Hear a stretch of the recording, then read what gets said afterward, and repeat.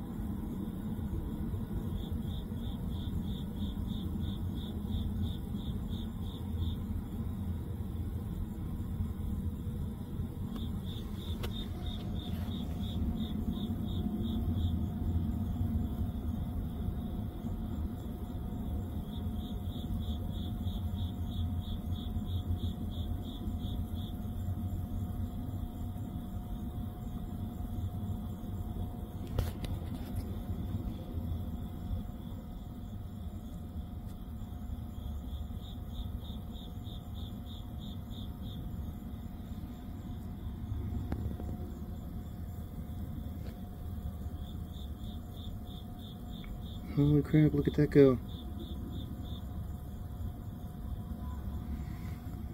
This fantastic.